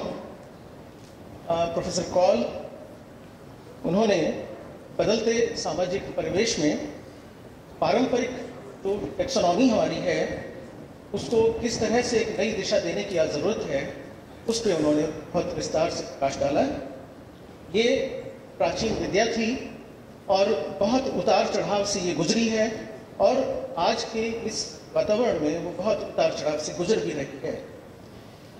आवश्यकता इस बात की है कि हम इस विधा को, इस ज्ञान को हम सामाजिक आवश्यकताओं से जोड़ें और अगर हम ऐसा कर सकें तो जो संरक्षण, वनस्पति संपदा संरक्षण की जो बात है और जो हमारा एक पर्पज है, जो हेतु है, शायद वो संभव हो सके। उन्होंने बहुत खूबसूरती से सिस्टमेटिक्स को बायो सिस्टमेटिक्स से किस तरह से हम उसको इंटीग्रेट कर सकते हैं, किस तरह से जोड़ सकते हैं और किस तरह से हम इसको नई रोशनी में, हम पुरानी, इस पुराने ज्ञान को, पुरानी जो हमारी विद्या है, उसको किस तरह से नई रोशनी देख सकते हैं इस पर उन्होंने प्रकाश किया प्रोफेसर गांधी ने जेनरिक नामों के उद्भव और उनकी उत्पत्ति का एक बहुत सुंदर विवरण हमारे सम्मुख रखा। अनन्य उदाहरणों से उन्होंने इसको हमको समझाने की कोशिश की। हाइड्रोकोटाइल धतूरा सोफोरा मेटीरिया जैसे उन्होंने जेनरा का नाम हमारे सामने रखा और विस्तृत जानकारी हमको उन्होंने मौजूद कराई। उन्होंने अलग अलग विभिन्न कारकों और विभिन्न जो विभक्तियाँ हमारे पास हैं कर्ता कारक हैं, कर्म कारक हैं, संबंध कारक हैं संविधान कारक हैं, उनके ज़रिए से, उनके माध्यम से और जेनरिक नामों को किस तरह से उद्भव हुआ और किस तरह से उनकी उत्पत्ति हुई, उस पर उन्होंने बहुत सुंदर व्याख्या हमारे सामने रखी। डॉक्टर बालाकृष्ण ने हमको इथनो बॉटनी के बारे में अवगत कराया। सदियों से एक वनस्पति की जो हमारी संपदा रही, उसके संरक्षण में सर्वाधिक महत्वपूर्ण होते हुए भी वो एक जटिल रास्तों से, जटिल मार्ग से वो गुजर रही है। और इस तरह की जो उसकी विकास की यात्रा है, उस यात्रा में हमको जुड़ना होगा और जो एंथ्रोपोलॉजी है और जो इकोनॉमिक बॉटनी है, वो किस तरह से विकसित हुई शुरू शुरू में वो एक एंथ्रोपोलॉजी का हिस्सा रही, फिर कुछ समय बाद समय के उस अंतराल में वो इकोलॉजी में शामिल हुई, फिर वो इकोनॉमिक बॉटनी में पढ़ाई जाने लगी। लेकिन आज हम उसकी, उसके महत्व को आज हम अच्छी तरह से समझते हैं। अगर हमें इस संपदा को हमें सुरक्षित रखना है कंजर्वेशन को हमें महत्वता देनी है तो हमें उसको फिर से समझना होगा और उसको एक संपूर्ण विज्ञान के रूप में उसको विकसित करना होगा। ग्लोबल बायोडाइवर्सिटी फ्रेमवर्क ने इसीलिए उसको एक महत्वपूर्ण स्थान दिया है। उन्होंने सस्टेनेबल गोल के बारे में ही बताया कि किस तरह से इथनोबॉटनी हमारे उन सस्टेनेबल गोल्स को परिपूर्ण करने में एक महत्वपूर्ण रोल, एक महत्वपूर्ण योगदान दे सकती है। उन्होंने बायो प्रोस्पेक्टिंग को हमारे सम्मुख रखा और उन्होंने टेक्सोनॉमिस्ट पे रिपोजिशनिंग की बात हमारे सामने रखी। प्रोफेसर सी आर साहब ने हमारे सम्मुख एक बहुत महत्वपूर्ण विषय, एक बहुत रोचक विषय रखा कि ये जो हमारी विद्या है जो ट्रेडिशनल है, जो पारंपरिक है, क्या वो आज के दौर में वो ज़िंदा रहेगी भी कि नहीं? क्या डिजिटल संसार में ट्रेडिशनल टेक्सोनॉमी का कोई महत्व होगा कि नहीं? उनका ये पूरा भरोसा है कि नहीं, उसकी महत्वता बनी रहेगी। चाहे डिजिटल वर्ल्ड चाहे इंटेलिजेंस आर्टिफिशियल इंटेलिजेंस का, चाहे कितना भी ये विकास क्यों ना हो, लेकिन वो जो ट्रेडिशनल जो हमारा पारंपरिक, जो टेक्सोनॉमी का जो प्रोसीजर है स्पीसीज को जो हमें आइडेंटिफाई करने का, जो स्पेसीज का जो कंसेप्ट है, वो हमेशा ज़िंदा रहे। उन्होंने क्लेटिस्टिक्स के आधार पर ये बताया कि बायोइन्फॉर्मेटिक्स टूल्स ने क्लेटिस्टिक्स को किस तरह से एक प्रैक्टिकल टेक्सोनॉमी में कन्वर्ट किया, लेकिन ये जो मॉलिकुलर क्लेटिस्टिक्स है, इसने एक स्पीसीज को कितनी ही स्पेसीज में बदल दिया, बल्कि बहुत सारी ऐसी स्पीसीज उन्होंने हमारे सम्मुख रखी, जो संसार में, कुदरत में प्रकृति में तो अस्तित्व ही नहीं धराती हैं अस्तित्व ही नहीं रखती हैं।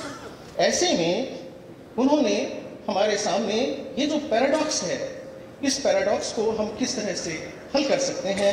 किस तरह से हम ट्रेडिशनल टेक्सोनॉमी को हम की मदद से हम इस इस पैराडॉक्स हल कर सकते हैं। इसका उन्होंने भरोसा दिलाया और उनका ये कहना था कि जो ट्रेडिशनल टेक्सोनॉमी है वो अभी भी रॉबस्ट है अपनी जगह सुरक्षित है और हमें कहीं भी किसी भी तरह से संदेह की और घबराने की कोई आवश्यकता नहीं।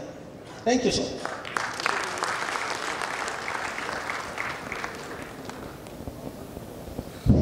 Thank you, sir.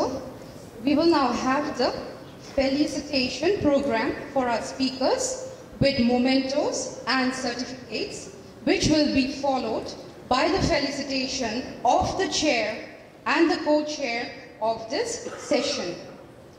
May I request our chair, Dr. R. Prakash, to kindly felicitate Professor A.K. Koul. May I call Professor A.K. Koul to kindly accept the token of appreciation, please. Thank you, sir, for accepting the token of appreciation. Can we have a huge round of applause, ladies and gentlemen? Now, may I request our co-chair, Mr. S.N. Tyagi, to kindly felicitate Dr. Balakrishnan, sir. Thank you, sir, for accepting the token of appreciation.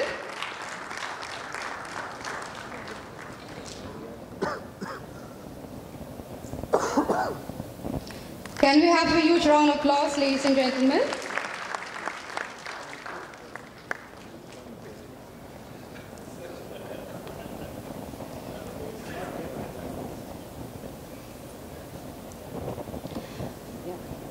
Now may I request our co-chair again, Mr. S.N. Tyagi, to kindly felicitate Professor C.R. Babu, please. May I call upon Professor C.R. Babu to kindly accept the token of appreciation. Thank you, sir, for accepting the token of appreciation. We can have a huge round of applause, ladies and gentlemen.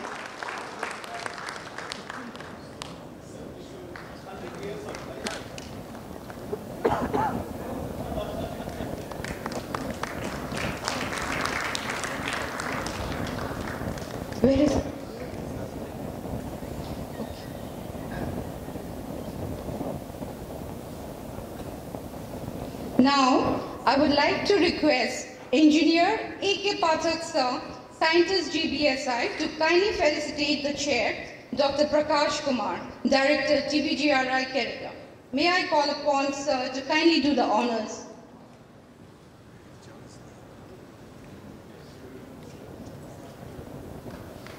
Thank you, sir, for accepting the token of appreciation. Can we have a huge round of applause, ladies and gentlemen?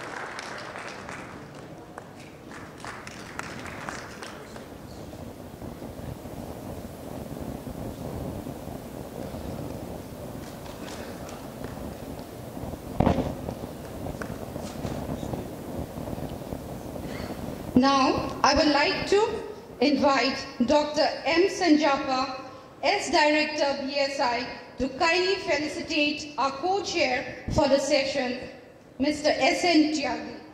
May I request Sanjappa sir to kindly do the honors.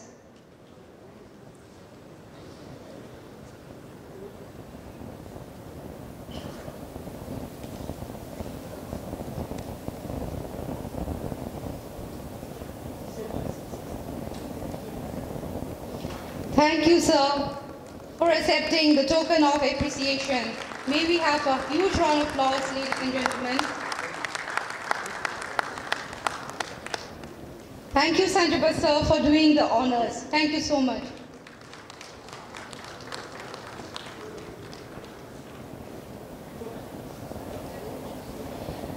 Now, ladies and gentlemen, we will break for lunch for, our, for an hour. And after the lunch, all the participants are requested to go for